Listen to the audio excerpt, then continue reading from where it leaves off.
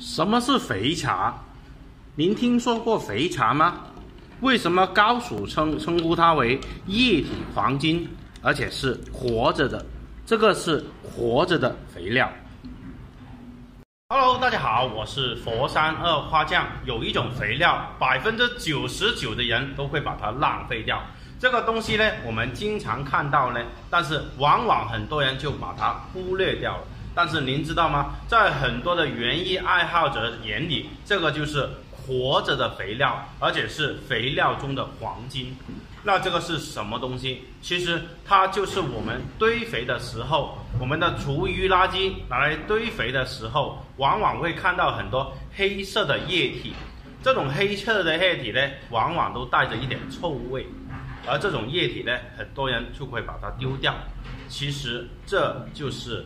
植物，我们的厨余垃圾里面的黄金血液，这个就是厨余垃圾的血液，它们变成这个黑色的肥料，然后呢，这里面就是很多厨余垃圾里面的精华，但是很多朋友就把它浪费掉了。其实这里面含有非常丰富的营养成分，最重要一个事情，这里面含有大量的活性细菌，然后你会发现呢，只要一丢丢。把它撒在花盆里面，您的植物呢就会疯狂的生长，甚至这个东西呢可以拿来改良土壤，甚至拿来拿来杀菌。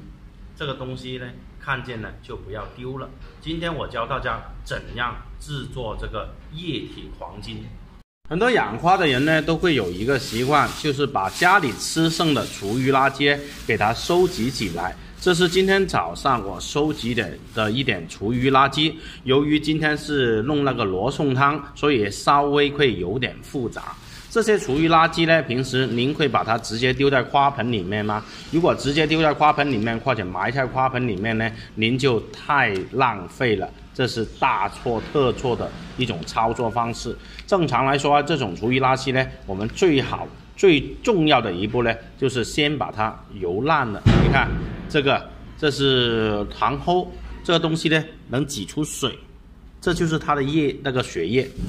另外这些呢也尽量的把它揉烂一点，这样子呢才能让它尽快的发酵。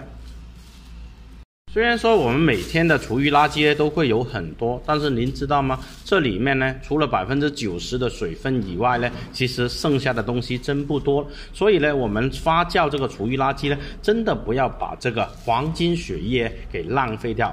把它挤得差不多之后呢，我们就可以往里面加入两样东西。第一个是红糖，这个是基本上大部分的发酵呢都要拿来使用的，无论是呃发酵肥料还是发酵那个厨余垃圾，都要使用，大概两汤勺左右就可以了。接下来是非常重要的细菌。啊，有些朋友问我不加细菌行不行？老实说，厨余垃圾如果你不加细菌进行分解，你会发现呢，这个分解速度会非常非常的慢，而且最重要一个事情，这个发酵呢会有可能会发臭。但是只要我们添加了这个细菌，你会发现呢，这个东西分解的速度很快，而且呢，分解出来的东西呢也会更加营养。最重要是整个过程没有臭味。完成以后呢，我们就可以放到您家的那个瓶子或者罐子里面。我呢比较喜欢用这个旧的热水壶，因为到时候把这个液体黄金倒出来的时候呢，比较省事。把它全部丢进去。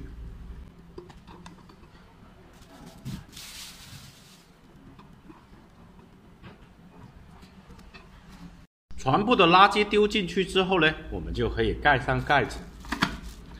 最好把这个出跑那个出水口给堵一下，这样子里面的水蒸气呢不容易流失。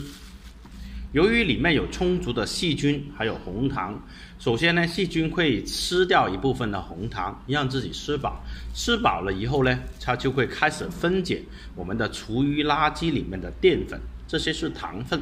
等它把糖分吃的差不多呢，它就会有能力去分解其他的剩余东西，比如纤维啊，还有很多很多的东西。然后慢慢这个过程中呢，就会产生大量的水分，而我们的厨余垃圾里面的百分之九十的水分呢，就会缓慢的转成转变成我们需要的黄金液体。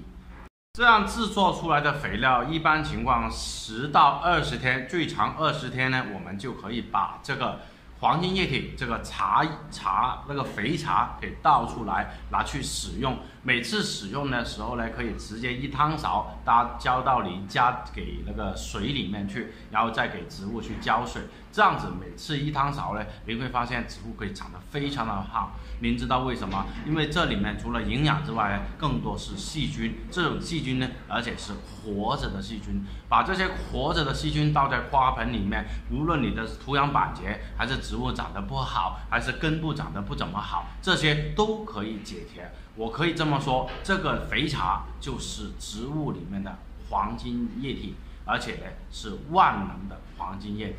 如果您在家有大量的厨垃厨余垃圾的话，就千万不要把这个厨余垃圾直接埋了，这样子你浪费了百分之九十的黄金液体。